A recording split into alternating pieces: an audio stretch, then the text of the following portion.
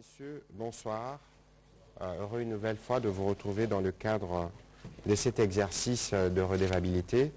Vous l'avez tous euh, suivi hier que les assises, la tripartite de Luanda s'est tenue et qui a réuni autour du président Lorenzo, le président Félix-Antoine Tshisekedi Chilombo et le président Paul Kagame. Au terme de cette tripartite, une feuille de route a été établie avec euh, comme premier objectif la cessation immédiate et le retrait du M23. Ce sera les sujets principaux du jour et nous, en parlerons avec le vice-premier ministre, ministre des Affaires étrangères qui a conduit les équipes de la République démocratique du Congo qui ont travaillé avec les experts angolais et rwandais bien avant la tenue de la tripartite avec les chefs d'État.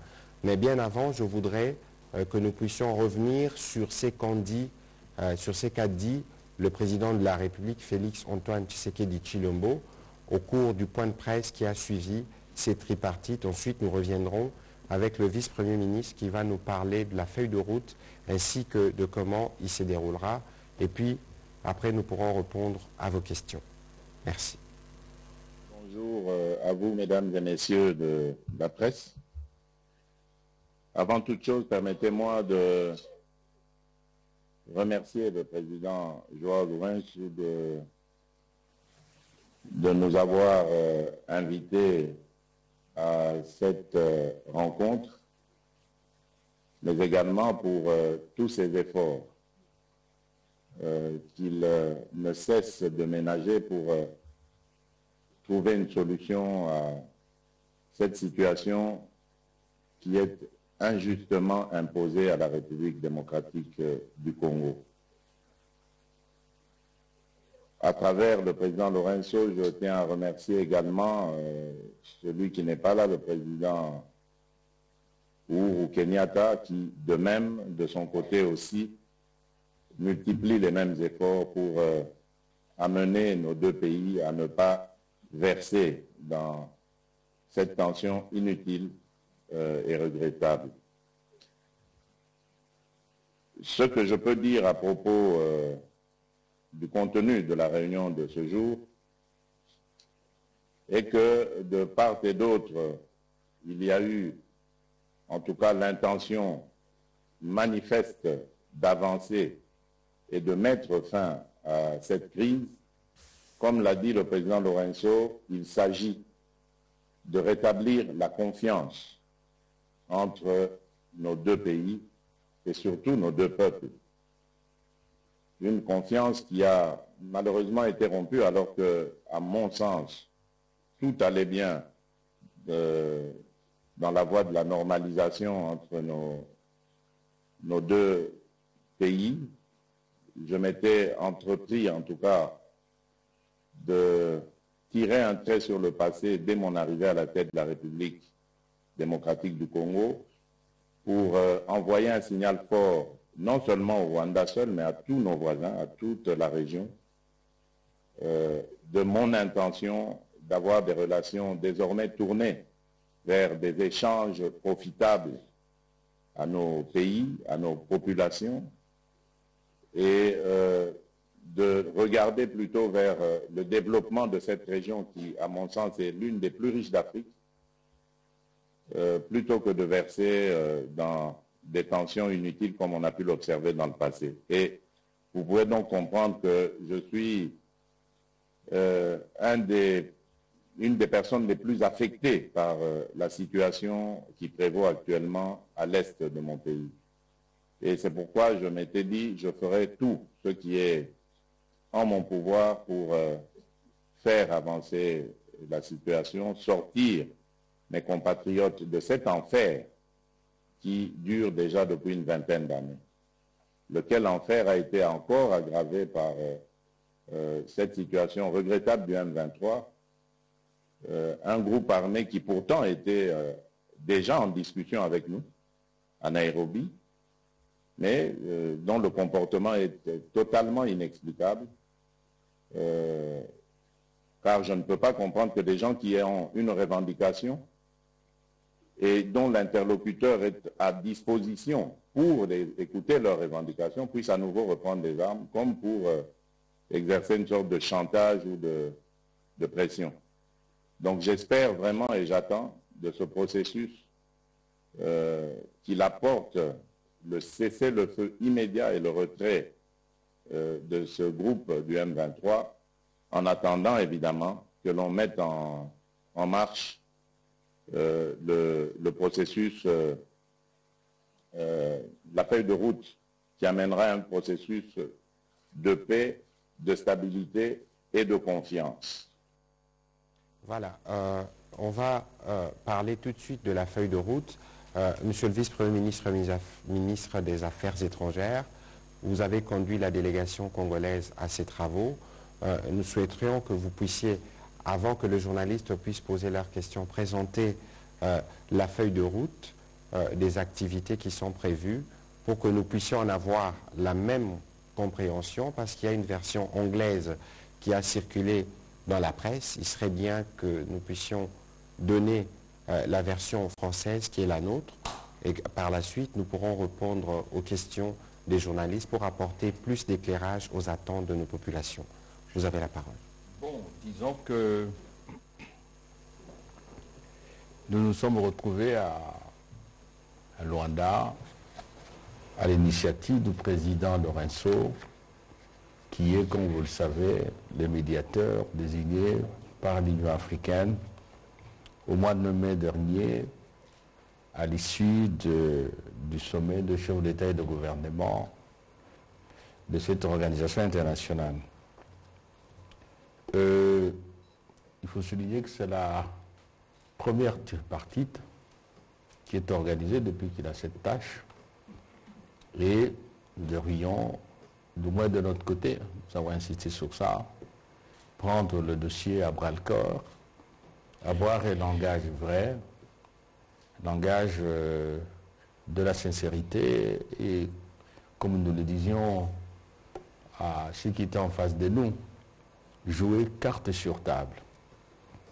Chacune des parties devait présenter son cahier de charges, ses récriminations, et pour nous aussi euh, sa vision de la fin de la crise si pour autant que tout le monde a la même motivation. Nous avons échangé, on a dit la vérité, en tout cas nous, ça on n'a pas eu la langue dans sa poche.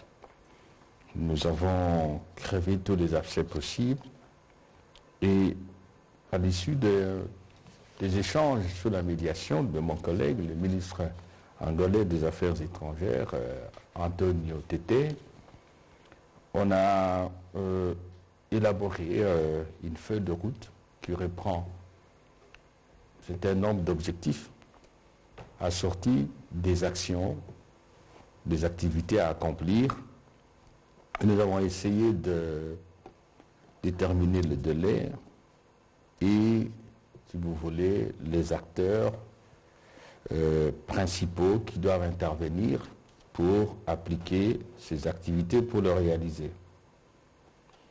Évidemment, comme a dit le ministre de la Communication, j'ai observé aujourd'hui qu'il y a des documents qui sont distribués en anglais en particulier et qui sont, si vous voulez, euh, un peu euh, falsifiés, en tout cas qui ne reprennent pas les points d'accord parce que chaque partie avait certainement sa présentation et on est arrivé à un certain moment à nous mettre d'accord sur ce qu'il fallait retenir. Hier, euh, avant la lecture de la feuille de route et la conférence de presse des chefs d'État, euh, il y a eu la réunion en tête à tête du président euh, Tshisekedi et du président Kagame sous la modération du président Lourenço.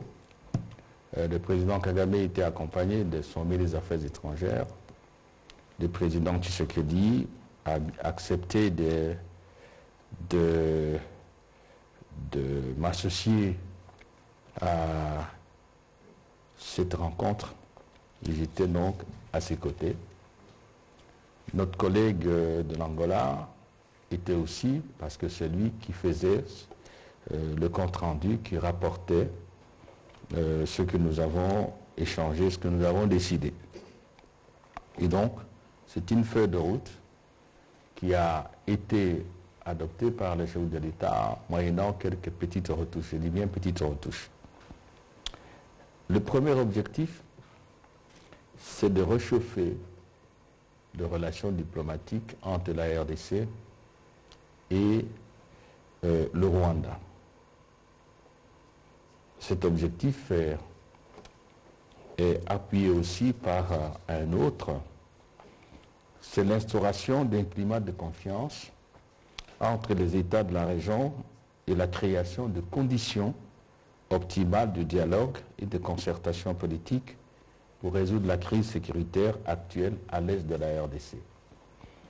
Voilà, premier objectif. Mais qu'est-ce qu'il faut faire pour ça? C'est bien beau de dire ça, mais il faut qu'on sache qu'est-ce qu'on doit faire. Les activités sont les suivantes. La cessation des hostilités qui va au-delà de cessez-le-feu et le retrait immédiat du M23 des positions occupées conformément au communiqué final de Nairobi. Donc vous voyez que Nairobi, euh, Luanda, on est dans la même direction et il y a des passerelles. Une autre activité importante, c'est vaincre les FDLR qui sont à l'origine des tensions entre le Rwanda et la RDC et qui joue un rôle important dans l'insécurité de la RDC, ainsi qu'évidemment d'autres groupes. L'FDLR, si je ne m'abuse, se force démocratique pour la libération du Rwanda. Donc ce sont les Rwandais qui sont dans cette organisation, dans ce groupe armé.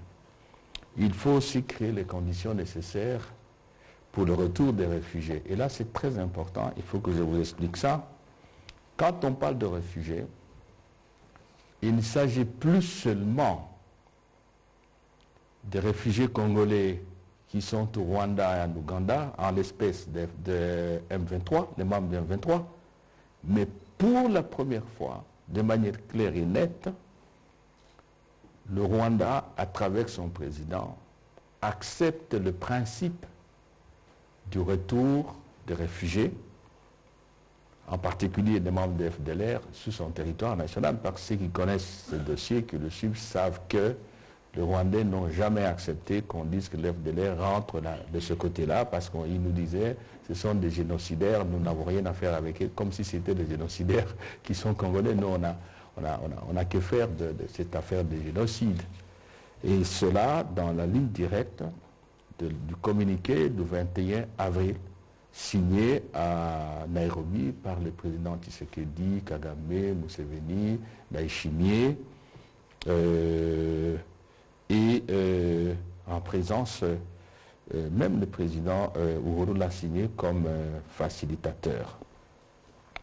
Une autre activité, c'est réactiver l'équipe conjointe des renseignements Rwanda-RDC pour fixer les modalités pratiques et le programme de lutte contre l'FDLR en coordination avec la présidence de la CIRGL et le processus de Nairobi. Donc vous voyez encore ici, euh, contrairement à ce que les gens voulaient penser à un moment donné, parce que j'ai eu la même question, on dit, mais écoutez, vous avez Nairobi et puis vous avez euh, la CIRGL avec le président Lorenzo, est-ce que ça ne va pas euh, être une surcharge, ça ne va pas se télescoper et ainsi de suite? Non, tout est en harmonie. D'ailleurs, le président Lorenzo, avant de nous inviter, a eu euh, des entretiens avec le président Uhuru et ils se sont mis d'accord sur ce qu'il faut faire.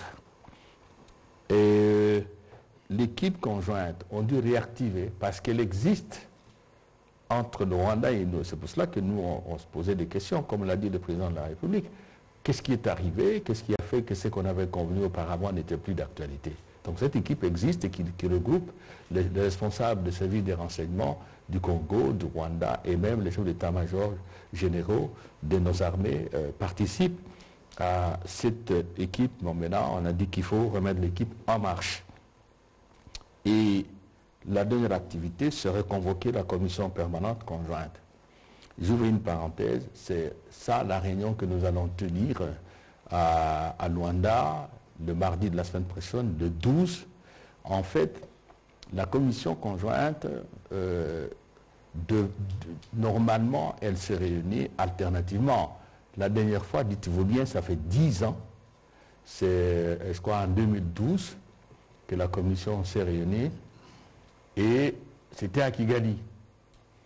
Cette fois-ci, elle, devrait se réunir à Kinshasa. Mais le président Tshisekedi a été formel. Il a expliqué à ses pairs qu'il n'était pas question de recevoir une quelconque réunion d'une commission conjointe, alors que euh, euh, moi, euh, ma population, mes compatriotes, il y en a qui perdent leur vie au Nord Kivu du fait de M23, du fait de cette perturbation, que dit, de cette guerre injuste, téméraire qu'on a voulu nous imposer. Il faut qu'il y ait des signaux forts qui établissent la certitude de la fin de, ce que je viens de vous dire, de, des attaques de, de 23 soutenues par euh, le Rwanda et, d'autres pays.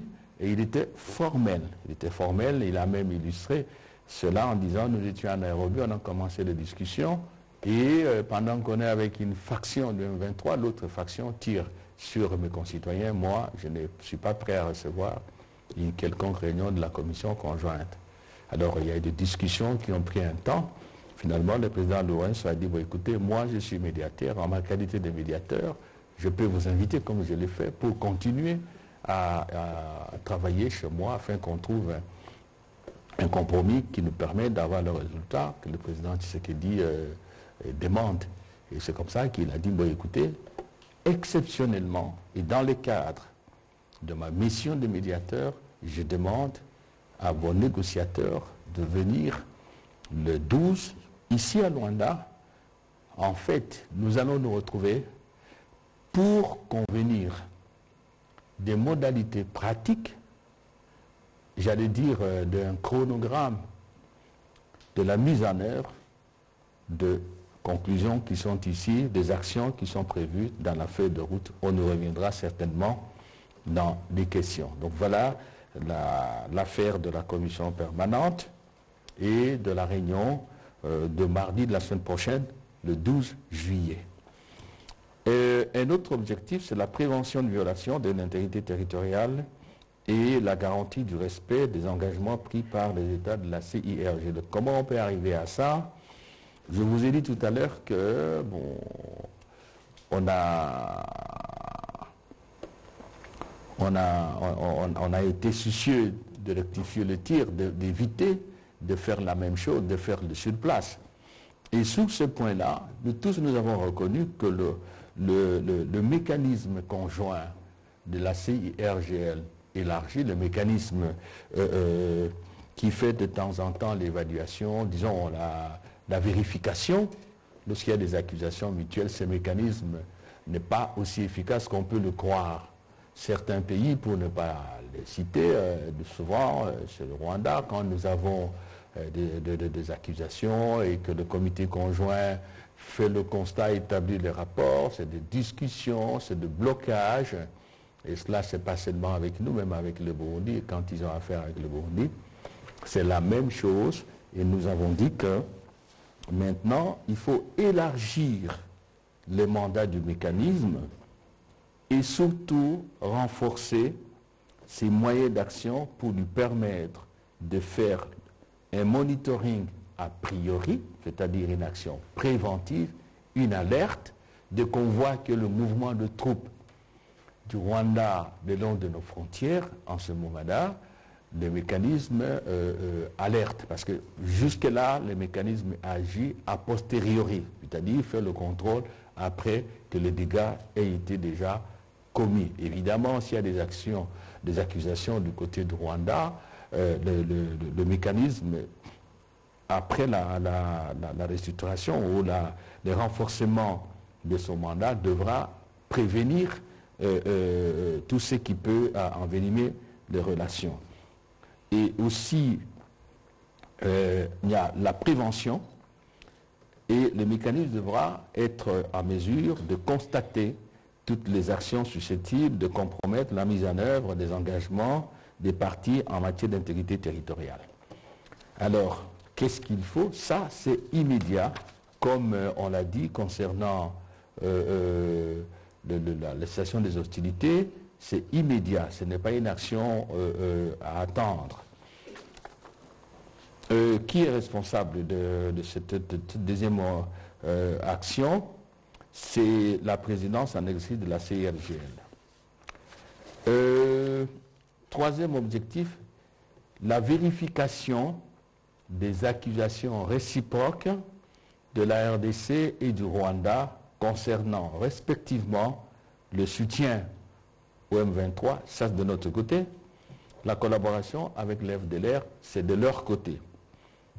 Alors, qu'est-ce qu'il faut faire pour qu'on mette fin à ces jeux de cache-cache, si tant est que euh, tout est vrai, parce que de notre côté, nous n'avons pas euh, une quelconque amitié, une quelconque collaboration à développer avec les FDLR, nous avons convenu, nous tous, de créer un mécanisme de vérification ad hoc, c'est différent de mécanismes actuels, de, euh, de, vérification ad hoc dirigé par un officier général de la République d'Angola.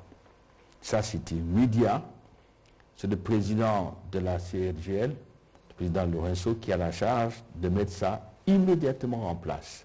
Et vous voyez là, la CIRGL entre dans la gestion, si vous voulez, de manière un peu plus active, la gestion de, la tension. Et aussi, nous, nous, avons convenu de donner à l'Angola un rôle actif. C'est très important euh, par rapport à, ce qui se fait actuellement. Le quatrième objectif, c'est la revitalisation de l'accord cadre pour la paix, la sécurité et la coopération en RDC dans la région. Ça, ça existe, on ne va pas s'étendre là-dessus, ce n'est pas le sujet du jour, c'est l'accord d'Addis Abeba, comme on dit. Qu'est-ce qu'il faut? Il faut mettre en place un mécanisme mixte de consultation régulière d'harmonisation entre la CIRGL et la communauté d'Afrique de l'Est concernant le processus de paix de Nairobi. C'est-à-dire, en fait, euh, il faudra que le processus de Nairobi, qui a été déclenché dans le cadre de la communauté d'Afrique de l'Est, euh, soit géré principalement, bien sûr, par la communauté, mais en concertation, en collaboration avec la CIRGL, euh, de manière à éviter, comme je vous ai dit au départ, des initiatives dispersées et des initiatives qui peuvent se contredire et se neutraliser. Euh, qu'est-ce qu'il faut? Il faut mettre fin à la divagation de groupes armés dans la région, c'est-à-dire en fait, toujours, maintenant nous sommes dans l'esprit de l'accord de Nairobi qui veut que tous les pays qui ont des groupes armés nationaux ou euh, euh, étrangers puissent prendre des mesures, notamment établies de dialogue avec ce groupe, pour que on, arrive à, mettre fin à leurs activités à travers la, région des Grands Lacs. Et les groupes qui ne veulent pas aller dans la dynamique de paix seront écrasés par la force de la région, euh, la force de la communauté d'Afrique de, l'Est. Ce qu'on est en train de mettre en place. Qu'est-ce qu'il faut faire encore? Accélérer la mise en œuvre du processus de désarmement, démobilisation et relèvement communautaire et stabilisation, PDRR. CS. Ça, c'est un processus, c'est un programme que nous avons élaboré dans notre pays, qui a été présenté à la communauté internationale et pour lesquels les bailleurs de fonds ont pris des engagements de financement. Donc, on appelle aussi à ce que cela euh, aille vite parce qu'il faut par tous les moyens euh, ouvrir la, voie vers le retour des compatriotes qui, sont, euh, euh, si vous voulez, considérés comme des brebis égarés qui ont pris les armes. Et il y a un programme, mais ce n'est pas à confondre, ce n'est pas à confondre, ce n'est pas à confondre la troisième fois avec ce qu'on a connu, les brassages, les mixages, euh, les partages équilibrés, équitables de pouvoir. Non, non, non, non, non. On a expliqué ce programme par le coordonnateur national et le chef de l'État nommé il n'y a pas longtemps de coordonnateurs provinciaux et nationaux et dans les cadres de consultation de Nairobi, c'est vraiment le, cadre, la structure euh, qui matérialise et qui doit finaliser, qui doit donner un contenu réel à, l'offre de paix euh, que fait le chef de l'État à ceux euh, de nos compatriotes qui ont pris les armes. Cinquième objectif, la promotion du partenariat économique entre les États de la région et le renforcement des mécanismes régionaux de lutte contre l'exploitation illicite de ressources. Quelle activité Promouvoir l'activité économique dans la région et assurer le contrôle régulier et rigoureux de l'exploitation minière ainsi que des activités liées aux ressources naturelles dans le respect de la souveraineté des États du protocole de la CIRGL relatif à l'exploitation de ressources naturelles. Qu'est-ce qu'il faut faire encore? Intensifier la lutte contre l'exploitation illicite de ressources naturelles de la RDC par les groupes armés.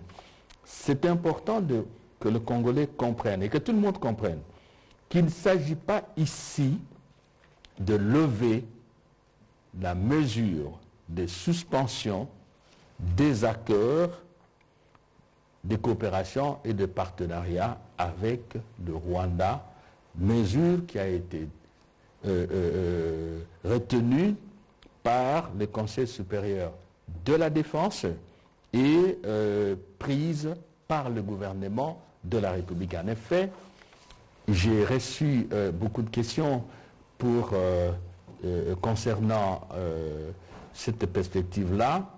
Il est très important de le dire, nous, nous n'avons pas fait de caprices. On n'a pas dit qu'on suspendait les vols des de Rwandais, qu'on suspendait euh, les, accords de protection des investissements ou des accords pour éviter la double taxation, la fraude fiscale et l'évasion fiscale. On n'a pas fait par caprice, non. Nous étions de bonne volonté. Le chef de l'État l'a dit. Il faut approcher tous nos voisins, éviter une conflictualité stérile et destructrice de l'avenir de nos, peuples, il faut ouvrir des perspectives de coopération que dicte l'histoire, la géographie et que dictent les stratégies que nous devons adopter pour développer notre pays, maximiser, optimiser l'exploitation de nos ressources naturelles. C'est très clair. Mais dans les relations entre États, comme entre les individus, la confiance est un élément essentiel. Et les États ils n'ont que des intérêts. Ce sont de monstres froids. Lorsqu'on se rend compte que le partenaire n'a pas la même motivation, euh, n'affiche pas la même bonne foi et accomplit des actes qui apparemment, indubitablement portent atteinte à nos intérêts vitaux, nous ne pouvons pas continuer avec ce partenaire-là. Et nous étions d'ailleurs assez ouverts assez, euh, si vous voulez, responsable quand nous avons dit nous suspendons. Et nous avons dit à nos amis rwandais, quand nous étions en discussion hier, que tant que nous n'avons pas la conviction que vraiment ça a changé, eh bien, nous n'allons plus revenir sur cette coopération, sur ces accords-là, et on ne verra pas Rwandais revenir dans ce pays euh, comme par un claquement de doigts. Non, pas du tout, pas du tout. Dieu, Dieu merci, à quelque chose de malheur et bon. C'est une épreuve euh, de, bonne foi et de confiance. Et euh, nous leur avons dit que c'est une interpellation. Démontrez-nous qu'on n'est plus, on n'est plus dans vos sentiments, dans vos sentiments actuels. Et enfin, garantir un objectif. Comment garantir la bonne exécution de la présente feuille de route et rétablir la confiance entre partenaires au procès de Nairobi? Nous avons carrément convenu de proposer euh, la convocation en temps opportun du sommet extraordinaire de la CIRGL et cela à court terme. Pourquoi? Parce que le président Lourenço est bien sûr le président d'exercice de la CIRGL, il, agit sur un mandat, sous un mandat euh, euh, de, l'Union africaine. Et parce que aussi il y a cette connexion, cette synergie qu'il faut établir entre la CIRGL et la communauté d'Afrique de l'Est. Et donc, il est essentiel pour nous que tous les chefs de l'État, tous les chefs d'État de la CIRGL soient associés à cette nouvelle perspective que la CIRGL apporte, cette eau limpide qu'elle apporte au moulin pour que nous puissions mettre fin à la crise et que ce soit l'affaire de toute la communauté.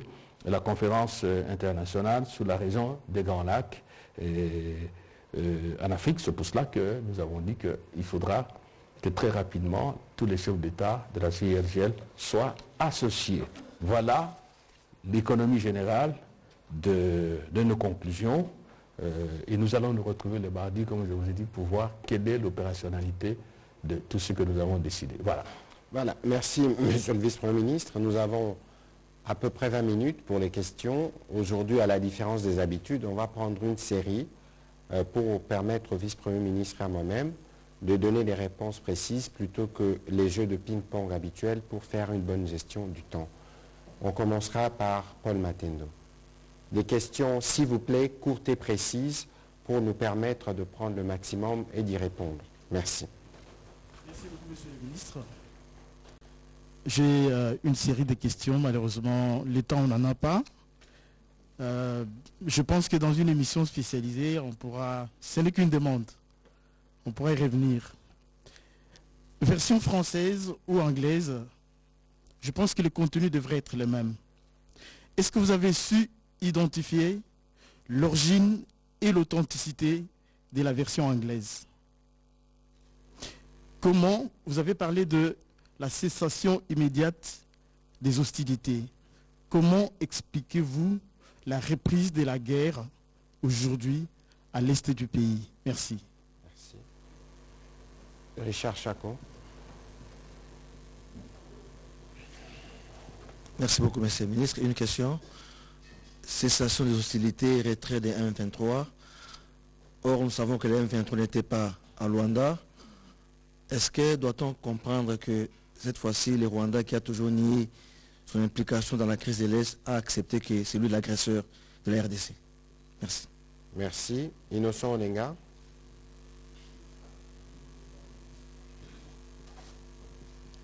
Merci beaucoup pour la parole. Ma question c'est au VPM. Je commence par euh, constater qu'il y a amalgame dans les revendications, tantôt M23, tantôt Rwanda, ce n'est pas là le problème. Mais en face du gouvernement de la RDC, il y a un accord qui avait été signé en décembre 2013 entre les M23 et les gouvernements à l'époque. Et la signature apposée était celle de Raymond Chibanda. À ce jour, huit ans presque après, vous êtes son remplaçant. Vous pouvez nous dire qu'est-ce qui a été exécuté dans ces déclarations dites de Nairobi et qu'est-ce qui n'est pas fait que les que plutôt les M23 est en train de revendiquer? Merci. Merci. Prochaine question. Ah, il n'y a pas des... On va prendre notre ami de TV5 et puis on reviendra par ici pour clôturer avec... Euh, Merci. Dadi Songozo pour le compte de TV5 Monde. Euh, monsieur le vice-premier ministre peut nous dire où se trouve aujourd'hui l'ambassadeur rwandais Vincent Karega. Est-ce qu'il est rentré au Rwanda? Pour toujours, il va revenir. Euh, l'autre question, euh, si vous pouvez un peu expliciter, quand le Rwanda parle de la présence de FDLR aux côtés des forces armées de la République démocratique du Congo, c'est ce qui pousse le Rwanda à soutenir le M23. Vous n'avez pas explicité. Est-ce que ça faisait partie de ces revendications pour justifier sa présence en République démocratique du Congo? Merci. On va prendre les réponses à ces quatre questions. Et si nous avons un petit temps, nous retournerons de ce côté pour la conclusion. Euh, monsieur le vice-premier ministre, vous avez la parole.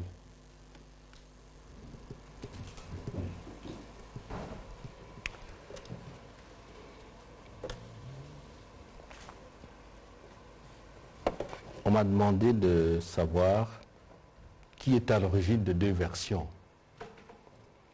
Généralement, et c'est ce qui nous a manqué hier parce que c'était un problème de temps, Lorsque vous êtes dans de telles négociations, ou des négociations politiques même à l'interne, ce qu'on fait, c'est qu'à l'issue de négociations, on adopte soit le rapport, soit en l'espèce la feuille de route ou le communiqué conjoint, et les chefs de délégation paraphent et signent.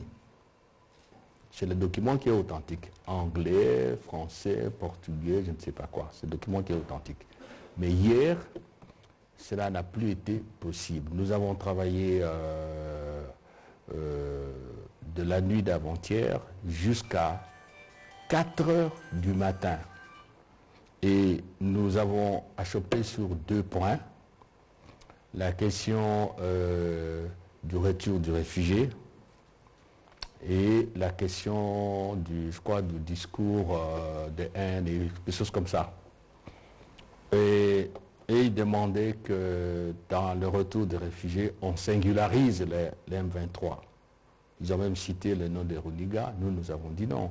La question du retour des réfugiés, conformément à la lettre et à l'esprit du processus de Nairobi, à savoir le communiqué du 21 avril et celui du président Uhuru, euh, la question de réfugiés se pose pour tous les groupes armés. Et donc on n'a pas à singulariser, puis on leur disait, mais non, il ne faut pas donner l'impression que chez nous, il y a des Congolais qui ont le droit de rentrer, les autres qui sont condamnés à rester à l'extérieur. C'est contraire à la Constitution qui dit clairement que nul ne peut être contraint à résider en dehors de, son domicile ou à l'exil. Donc, euh, euh, ce qu'il faut, on sait qu'il bon, il faut que les gens rentrent, il y a des instruments internationaux, euh, Convention des Nations Unies 49, Convention de Genève sur les réfugiés, Convention de 67 de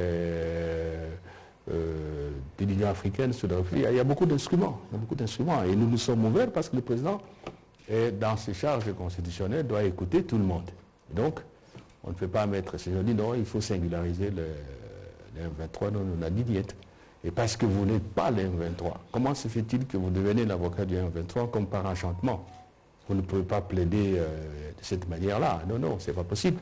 Ou bien alors, c'est vous qui les envoyez et vous portez leurs revendications. Ou bien vous dites, comme vous, vous dites partout, c'est congolo-congolais, alors laissez-nous régler nos problèmes nous-mêmes. Alors ça s'est bloqué là-dessus. Et la règle est que quand il y a blocage, on se réfère au chef d'État.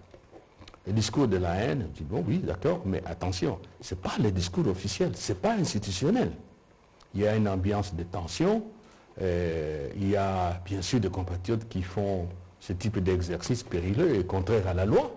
Nous n'allons pas tolérer, le président l'a dit, nous, le Conseil supérieur de la défense l'a dit, le gouvernement aussi, et au moment où nous parlons, on leur disait hier qu'il y a des Congolais, même des militants, les membres du parti du chef de l'État, qui sont ouf.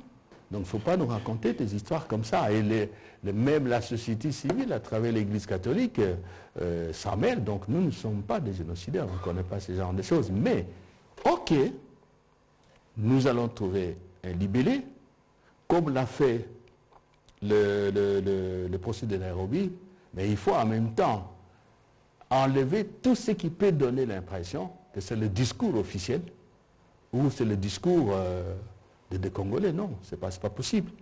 Alors, euh, vous ne comprenez pas, on a proposé des formules, ils ne voulaient pas, et on s'est bloqué là-bas. Voici les deux points qui sont restés bloqués. Alors, euh, au moment où on doit aller chez le chef d'État, les experts qui ont repris le travail le matin n'ont pas pu nous joindre, nous les ministres, et on est parti seulement avec le test à soumettre aux chefs d'État, qui ont trouvé d'ailleurs des libellés sur euh, ces deux points.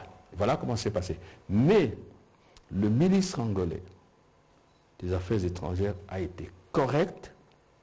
Il a lu rien que le point d'accord en y ajoutant ce qui était convenu par les chefs d'État, à savoir pour les réfugiés, je vous l'ai dit au départ, qu'on dise tout simplement que les conditions des réfugiés, quelles qu'ils soient, pour euh, le discours de, de, la, de la haine, on a trouvé qu'il fallait aussi qu'on dise que, euh, comme on a dit dans le, communiqué de Nairobi, que euh, toutes les parties sont appelées à observer une attitude, à rejeter ce type de discours. C'est bien dit. Éviter voilà. tout langage offensant et voilà. discours de haine Voilà, voilà. Et c'était tout. Donc je vous ai fait cette littérature pour vous dire que nous n'avons pas eu le temps d'avoir une version authentifiés, mais il existe des éléments sonores de ce qui a été lu. Je venais de parler tout à l'heure avec mon collègue euh, angolais qui a fait la modération. Euh, je lui ai proposé ceci. Euh, lui doit nous transmettre à nous deux la version qu'il a lue. Un. Deux. Lorsque nous allons nous retrouver le mardi, en préjudiciel, nous devons authentifier la version qu'il a lue et nous allons travailler sur la base de cette version qu'il a lue, qui est la version aussi adoptée par le chef d'État. Donc voilà la réponse. Donc maintenant, je ne peux pas vous dire, ne vais pas faire de procès d'intention, c'est complètement fou. Il y a la version anglaise qui a été diffusée. Et la version française, on n'a pas vu une version française qui est différente de ce que je vous dis, de ce que je vous ai lu, sauf à, Et à- à une, traduire. version, une version portugaise. sauf à traduire librement, euh, alors C'est- comprenne qui C'est pourra. sûr que c'est un document de travail qui a fuité. C'est pour Mm. ça que vous avez vu, nous, comme gouvernement, on n'a pas de manière formelle diffusé euh, les documents parce que les chefs d'État ont préféré que l'on considère ce qu'ils ont dit. Alors, il y a eu les propos du président Kagame, le propos du président Tshisekedi et les propos du président Lorenzo. Les processus en continu parce qu'en réalité, c'est juste une pause qui a été prise parce que le VPM et toutes les équipes d'experts doivent repartir sur Luanda dès lundi ou peut-être dimanche pour commencer le travail qui suit. Alors, comment justifiez-vous la reprise des activités? C'est ça la question fondamentale. C'est ça la question fondamentale.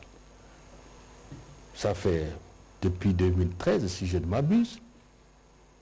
Et puis ça, ça vient comme un fantôme, mais un fantôme armé jusqu'aux dents. Ce n'est pas moi qui le dis, armé jusqu'aux dents, les Nations Unies l'ont dit. Et nous sommes à Nairobi, ok? Il y a un processus global. La RDC, le Rwanda, le Burundi, l'Ouganda, euh, nous tous qui avons des problèmes de groupes armés, et on s'est mis d'accord sur ce qu'il faut faire. Et c'est- quand même drôle, c'est pendant qu'on est en négociation que l'M23 tire sur les Congolais. C'est ça. C'est ça, je ne saurais pas vous dire pourquoi, mais en réalité, c'est quoi? J'ai eu à le dire ici avec mon collègue. En réalité, euh, comme on dit chez nous euh, ici, que lorsque vous voyez le poussin qui prend la dimension, ça signifie qu'en fait, euh, au-dessus de lui, il y a la poule qui, qui donne la dimension. Vous voyez? Donc, on veut maintenir le pays dans la situation euh, d'ingouvernabilité, en, infusant dans le sang congolais l'instabilité, en mettant dans nos, dans têtes euh, un complexe, et on veut créer des espaces euh, de libre exploitation, on veut se donner, si vous voulez, l'ample- l'ampleur hein, du, du- bœuf. Rappelez-vous la grenouille qui veut se faire aussi grosse que le bœuf. On veut bloquer le processus de Nairobi. C'est ça le vrai problème, la vraie motivation quant au retour sur la scène du 1-23. Je vais vous dire quelque chose, parce que ce n'est pas un secret. Nous sommes en discussion. Alors, euh, quelqu'un que vous connaissez bien, général James Kabarebe demande la parole. Il nous dit, mais vous vous en prenez à nous tout le temps, pourquoi? Ce n'est pas nous qui vous attaquons. Makenga, dont le groupe est aujourd'hui en action, il ne vit pas chez nous. Il vit en Ouganda. J'ai mes notes du mot à mot parce que j'ai noté ça. Mais c'est l'Ouganda qui y a poussé ces gens, qui le soutient et qui leur donne la logistique et le matériel. Je le dis à la télévision, le monde entier me suit. Il y a des PV, il y a des échos sonores. Nous tous, on était un peu, euh, pas surpris, mais. On se regardait un peu, on dit, mais c'est quoi ça? Mais le problème, ce n'est pas de l'argent comptant. Parce qu'ils n'ont pas le courage, en tout cas ils ne le disent pas, en face des Ougandais pour que les Ougandais aussi repliquent. Nous étions à, Nairobi il n'y a pas longtemps, tout le monde était là. Comment on va nous dire ça? En dehors de, Rwanda De toute façon, on a pris bonne note et nous, réfléchissons à tout ça, à tous les éléments que nous avons. Voilà, voilà la, question du, retour d'un 23. Donc il y a, un, un, complexe de raisons, mais qui toutes convergent vers une seule finalité, nous affaiblir, n'est pas de donner le temps de nous organiser, ne pas nous donner le temps d'organiser notre système de défense, continuer à nous exploiter et alors on, prend sa coupe de champagne euh, euh, en riant de nous. quoi. C'est cela, il faut qu'on comprenne. Alors, est-ce que le Rwanda a accepté? Mais attendez là, attendez là. Mais un État qui, disait, qui dirait ça, qui, qui, ferait cela, mais on s'en moque. Le Rwanda ne peut jamais, ne vous attendez pas. J'attends beaucoup de Congolais qui disent ça. Que le Rwanda vous dise, oui, c'est moi qui vous attaque. Mais bon sang, mais c'est pas possible ça. Parce que là, euh, il y a le droit international qui est là, il y a une certaine morale euh, publique, il y a tout un tas de... Les conséquences sont graves. Graves. Et ne vous attendez pas à ça. Mais ce sont les attitudes. Ce sont les preuves que nous, nous avons. Je viens de vous parler de cette défense que l'on prend des M23. Les matériels militaires. Les matériels militaires, les militaires qu'on a, qu'on a vus, le fait que nous leur avons dit ça, c'est chaque fois qu'on m'appelle, moi, ministre des Affaires étrangères, pour me dire qu'il y aurait des bombes qui tomberaient sur le territoire rwandais que dans les 24 heures, les 23 attaques. Comprenne qui pourra. Comprenne qui pourra. Il y, a, tout un tas, ça ne, peut plus se discuter. Et parce qu'on dit, oui, la diplomatie congolaise, oui, ceci, cela. Pourquoi vous n'obtenez pas la condamnation du Rwanda? Mais les relations internationales ont leur, mode d'expression, euh, leur mode de, opératoire, euh, il ne faut pas oublier que chaque État, dans n'importe quel conflit, réagit en fonction de ses intérêts. Je veux dire que les États sont de monstres froids. On calcule, on dit, mais si j'ai dit ça, ça va donner quoi? Et moi, je gagne quoi? Et c'est comme ça. Et en dessous de tout ça, il y a, il y a les affaires. Donc, moi, je ne pense pas. Et même, même, allez, prenons une hypothèse. Tout le monde, le matin, demain, dit, l'Ouganda agresse la RDC, on condamne. Ça va donner quoi? Ce dont nous avons besoin, ce n'est pas une condamnation verbale, c'est que ça se termine. Et le fait que partout, on affirme que pour résoudre la crise, il faut que le Congo et le Rwanda se parlent. Mais pourquoi le, Rwanda est cité? S'il n'y a rien. Dites-moi. Vous avez suivi Mme Bintou oui. Euh, le 29 juin dernier, qui a fait la démonstration, sans dire le nom, de ce qui se passe sur terrain. De toute évidence, pour ce qui concerne la situation sur le terrain, nos forces armées sont bien positionnées pour que la sécurité puisse être rétablie. Dans ce qui se passe, il y a évidemment le volet diplomatique pour lequel, parce que le président de la République, comme il a redit lui-même, nous voulons travailler pour la paix, nous voulons reconstruire notre pays. Mais ceux qui veulent nous imposer la guerre, nous trouverons sur le chemin. Il ne faut pas oublier il y a deux jours, je pense que le président de la République s'est exprimé sur le colonne de, de, Financial Times et que si les provocations continuent, nous en tirerons les conséquences, y compris, et vous voyez déjà, euh, ceux qui parlent des discours de haine, en réalité, la colère, elle est perceptible et que le Congolais militaire comme civil, nous sommes déterminés une fois pour toutes à en finir. Et donc, si vous avez vu euh, le, Rwandais s'est déplacé. Je pense que dans les conditions actuelles, c'est plus eux qui ont besoin de discuter avec nous, parce que bientôt, quoi qu'il en soit, il y a des comités des experts qui travaillent, qui pourront démontrer à la face du monde que le M23, en réalité, est une fabrication rwandaise et qui opère sous son couvert avec armes, munitions, comme cela a été récupéré sur le terrain. Alors, allez, Monsieur le Vice-Premier ministre, il nous reste 10 minutes. Peut-être qu'il faut... Donc pour euh, l'acceptation, vous ne faites pas d'illusion. Alors on dit euh, les accords de 2013, oui, il y a continuité de l'État. C'est à eux de nous dire ce qui n'a pas été exécuté, appliqué. Parce qu'on connaît les, gens du 23 qui sont dans les institutions, qui sont dans l'armée, vous connaissez tout ça. Donc c'est pas, c'est pas, et on ne peut pas avoir un a priori sur ça dès lors que le président de la République, Félix Antoine Tshisekedi, est en consultation avec tous les groupes armés. C'est l'occasion de venir dire, voilà, il y a ça, il y a ça qui n'a pas été exécuté, nous souhaitons qu'on avance dans tel sens. Et voilà. Donc, euh, on ne nie pas la continuité de l'État. Mais nous, nous pensons que, bon, s'il y a des problèmes, c'est le malade qui doit dire euh, là où il est malade. Et l'ambassadeur du Rwanda, non, attendez un peu là, ne demandez pas aux affaires étrangères d'être le gardien, le surveillant ou le contrôleur des mouvements de l'ambassadeur du Rwanda. Nous, on ne l'a pas chassé, ça vous le savez. On n'a même pas rappelé que ce soit en consultation. Il est libre de ses mouvements à RDC en tout cas. S'il est rentré chez lui, s'il est ici à Matonga ou à Lubumbashi, ce n'est pas mon problème.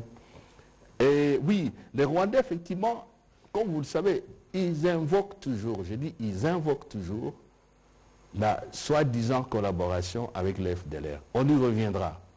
Et nous, nous, avons, nous leur avons dit, vous êtes en train de raconter des histoires. Citez-nous aujourd'hui un seul leader de FDLR qui existe dans ce pays. Nous leur avons dit, c'est plutôt les Congolais qui ont subi le FDLR. Et s'il n'y a pas de aujourd'hui, c'est ceux d'entre nous qui ont, euh, euh, euh, qui ont pris les armes aussi, qui ont trop souffert de FDLR à l'est du pays, qui se sont battus aux côtés de nos militaires, je dis bien, aux côtés de nos militaires, pour mettre fin aux activités de. Quoi qu'il en soit, nous avons dit, donnez-nous des preuves, dites-nous que tel officier euh, travaille avec les FDLR dans tel ou tel sens. D'où nous sommes tombés euh, euh, sur la proposition qui consiste à dire, maintenant, nous allons mettre en place un mécanisme ad hoc qui va vérifier les accusations des uns et des autres. Et pour nous, les FDLR, c'est pas, pas congolais ça. Ce ne sont pas de Congolais. Donc, euh, c'est ce qu'ils invoquent tout le temps, mais nous savons qu'il y a beaucoup de motivations euh, qui expliquent le comportement. C'est un, faux prétexte. Un faux prétexte. C'est un faux prétexte. Alors, on va prendre une seule question cette fois-ci en lingala pour terminer. Malheureusement. Pascal, vous pourrez reposer votre question euh, juste après. on va prendre Fabrice, ce sera en une seconde, comme ça on a, on a la possibilité de dire deux, trois choses en lingala.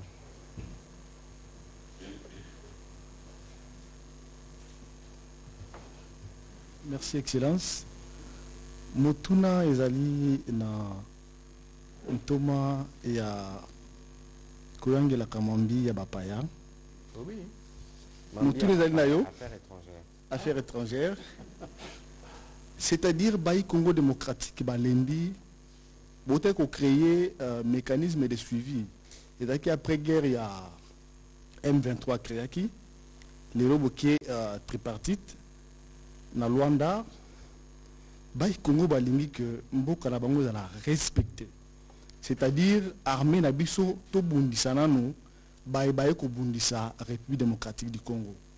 Tomesani mingi euh, na kosolola et puis kosolola yango rwanda ayokaka te ayakaka toujours komeka rdc bayi mboka balingi ke mboka na biso ezala respecté tokei nano na bitumba et puis motuna mosusu ezali euh, boni boni masolo ya république démocratique du congo asengaki aide ya russie mpona mandoki. Tokomi wapi? Voilà. Bon nakopesa na mokuse tokende na bitumba. Nayebi te soki na nzanga moko na mboka na biso? Basoda oyo baza na kote ya este basalaka eloko nini? Babundaka te basolo tokobosana te ke bayo baya kobundisa biso. Babukaka lokuta mingi libanda. Babukaka lokuta mingi epa baninga mosusu. Esika tozali oua nations unies eh, communauté afrique de l'est mboka ebele tozalaka na bango na barelation bango bakende kokosa tala makambo te oloba sikoyo tosali fait de route elobi ekei banzela mosusu na kobuka lokuta esengeli biso mpe tolakisa ke. Oyo bakosalaka mpe baolobaka eza lokuta topesa verité na biso mpe boyebi makambo mosusu. Toza mboka oyo zamba akela na monde entier. Tozali na bato mosusu bavoisin bapays mosusu. Tokozala te biso moko na mokili nzambe akela te. Donc il faut tobunda mpe na eh, eh, eh, ebundeli oyo ya diplomatie. Tolakisa ke toza na problème te. Ya makambo ya ba fdlr tout ça ezali te. Omoni mpe mikolo oyo ezala baaméricain bachinois na otanga bamboka oyo bazali makasi koleka biso. To barusse makambo mingi elekaka na batuka oyo tosali au niveau international. Omoni donc oloba te ke eh, kosolola te bakosaka biso te te te ya lokuta. Toza kobunda. Epuis mpo na kosukisa na esika wana ya solo mpenza banda nzambe akela mokili antikité ti moi ya lelo babangaka moto soko bamoni ye kaza makasi ezala na bavillage ezala na ndenge tozali awa na baninga balobaka epa na biso soko moninga amoni yo na arke na bafleshe te akobanga yo te.